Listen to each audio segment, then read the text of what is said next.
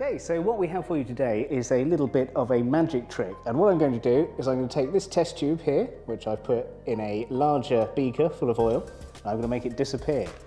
I'm going to do that purely and simply using a bit more oil. Now hopefully you can see this as I pour it through.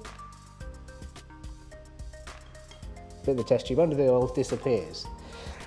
Now Magic, you know, might be nice and mysterious in, the, in uh, fantasy, but in the real world, everything that we uh, that's around us is interacting with physics and uh, know, interacting with energy, interacting with material, and as such can be explained by physics. And that's equally true here. So what we're seeing, or more precisely what we're not seeing, is the test tube there.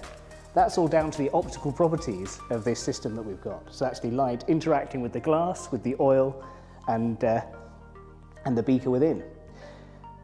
And the key thing here is refractive index. And so hopefully this is something you've come across in optics. It's the idea that as light passes through something, if that something is thicker than, they, for example, the air that it's passing through beforehand, then its path will change and it'll get bent either towards the normal, so the 90 degree line at the surface. If it's thicker, if it's thinner, it'll get bent away. And so what happens is, as the light comes through this, it gets uh, refracted a little, and uh, every time it hits something where the refractive index changes, it gets refracted again, and that that explains why we can see the tube when it has nothing in. So I'll find that one out. So you can see here now, we've got a bit at the bottom where you can't see anything, and a bit above where you can. Now what's happening there is the light is passing through the glass, through the oil, through the glass again, through a little pocket of air, and then back out the other side. Now the key thing with this system is that the oil has the same refractive index, roughly, as the glass. And so that means that as the uh, light passes from the oil into the glass, it isn't refracted at all. So that's why it passes straight through and makes our cylinder look invisible.